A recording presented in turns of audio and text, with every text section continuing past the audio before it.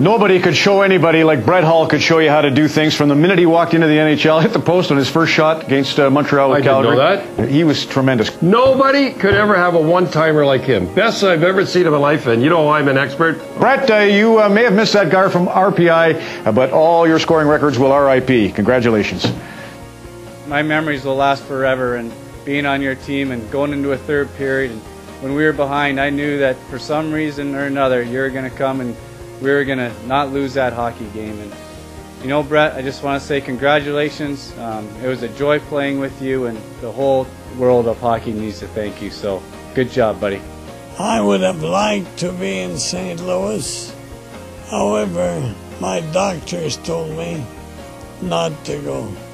It's a well deserving honor for Brett and his family that his jersey will be hanging up in the roof. Congratulations, Hully, on your tremendous accomplishment. Obviously, going up in the rafters next to some of the Blues greats. Uh, you're obviously, uh, you know, one of them as well, and, and certainly it was a pleasure, uh, pleasure playing with you, and wish you all the best in the future. Uh, I'm sure tonight's going to be great for you.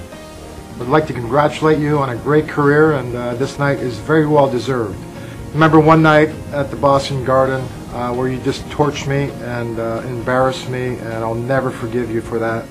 I don't think there's been anyone uh, that has the ability to find the open spaces, receive passes, and shoot them all in one motion. You, uh, you are the supreme goal scorer of this era and maybe of all times. You won overtime games, you won late games, you won game seven.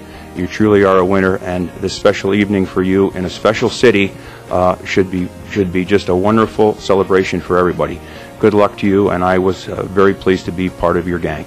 just having him around every day was a, a story in itself. I mean, he's always uh, had a way with the media. He had a way with uh, teammates, and um, but it was a joy to have him around. Learned a lot from him, um, but it was uh, never a dull moment, that's for sure.